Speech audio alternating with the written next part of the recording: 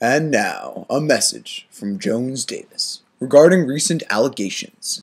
They say we're a joke ticket. We say if by joke ticket you mean two candidates who are attempting to present a vision of a democratic, safe campus in the 21st century, then yeah, we are a joke ticket. They say we're not qualified. We say we were in student council in high school.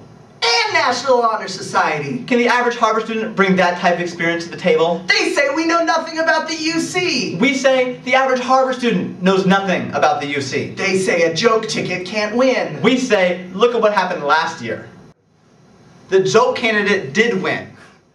He says the UC candidates need to convince voters I've been running a committee and I've been doing it better than the other ticket.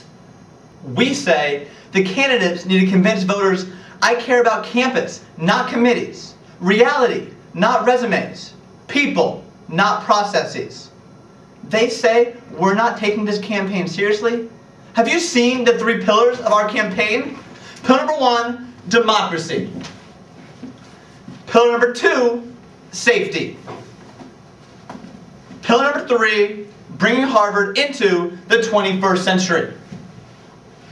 How could we be a joke ticket with a vision like this?